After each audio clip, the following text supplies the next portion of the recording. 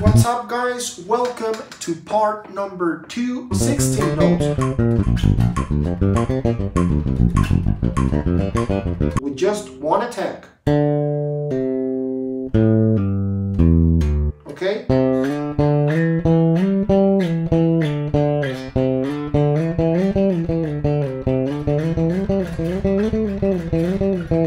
Slide, pull off.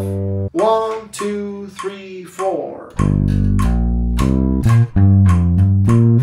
So you can start developing some ideas and you can apply it on your own bass playing.